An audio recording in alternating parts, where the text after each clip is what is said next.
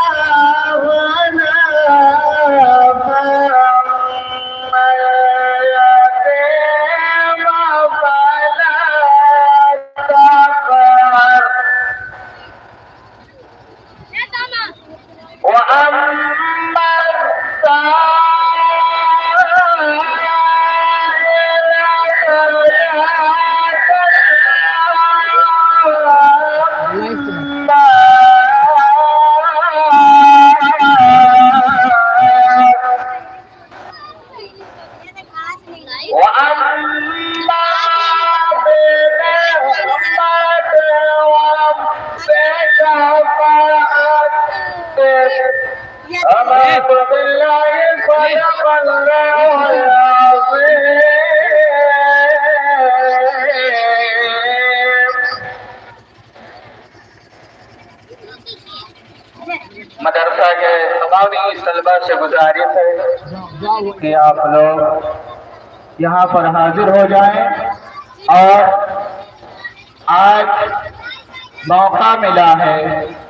इस जुलूस मोहम्मदी में कि हर